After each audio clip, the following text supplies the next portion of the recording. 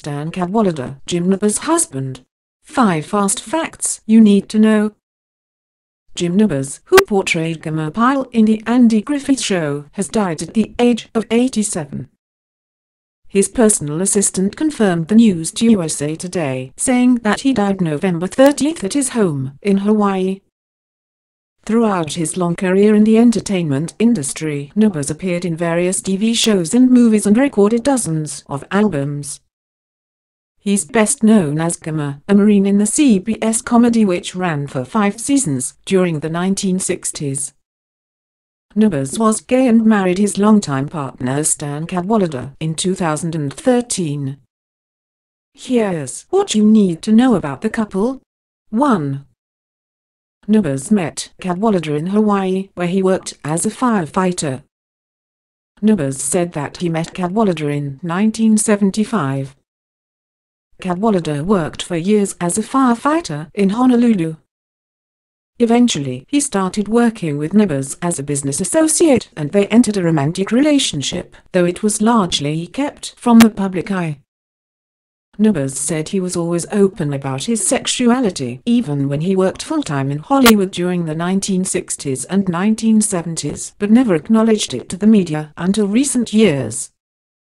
I haven't ever made a public spectacle of it, Nabors said to Hawaii News Now. Well, I've known since I was a child, so come on. It's not that kind of a thing. I've never made a huge secret of it at all. 2. Nabors and Cadwallader got married in 2013 in Seattle. In his later years, Nabors lived in Hawaii with Cadwallader, they had been dating for 38 years and were best friends. When gay marriage was legalized, the couple jumped at the chance to make their partnership official. Nabors and Cadwallader traveled to Washington, where gay marriage became legal in December 2012 and got married at the Fairmont Olympic Hotel in Seattle, Hawaii News Now reported.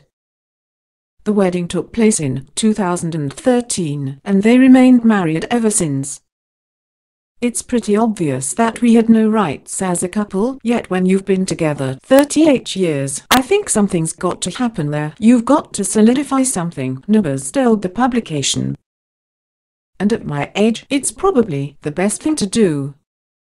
The couple got married in a ceremony that took place in their hotel room with only a couple of friends.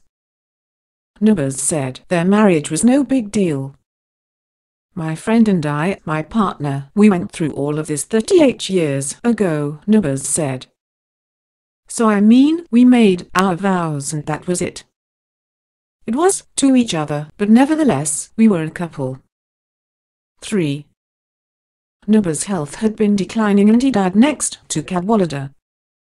Nabors, who grew up in Alabama, sang the unofficial Indiana anthem nearly every year at the start of the Indianapolis 500. That was from 1972 until 2014 when health issues he was suffering from limited his ability to travel, he said. In 1994, Nabors underwent a liver transplant after he contracted hepatitis B. In May 2012, he underwent successful open heart surgery. But his health had been declining for much of the past year, Cadwallader told the Washington Post. Cadwallader said that he was at his side in their home when Nabors died peacefully. 4. Nabors said he was very happy to be married to his best friend. Prior to gay marriage being legalized nationally, Nabors said that he didn't intend to get involved in the debate. He said that he was very happy to be married to his best friend and didn't want to start a debate. I'm not a debater, Nabors said to Hawaii News Now and everybody has their own opinion about this and actually I'm not an activist so I've never gotten involved in any of this. Nabors once recorded a radio advertisement for former Hawaii Governor Ben Cayetano's campaign to be the mayor of Honolulu. He said that he recorded the spot because he was a close friend of Cayetano and his wife, Vicky. For years, there had been rumors that Nabors was married to Rock Hudson shortly before he started dating Cadwallader. However, gay marriage wasn't legal at the time, and both said they were never more than friends. The rumor led to the two never speaking again, though. 5. Nabors moved to Hawaii in 1976 and owned a macadamia nut farm. Nabors and Cadwallader's relationship may not have been possible had he not moved to Hawaii. He said that he started vacationing in Hawaii during the 1960s and decided to make the permanent move from Bel Air, California in 1976. He owned a macadamia nut plantation in Maui before he sold it to a conservationist organization and retained the farming rights to the land.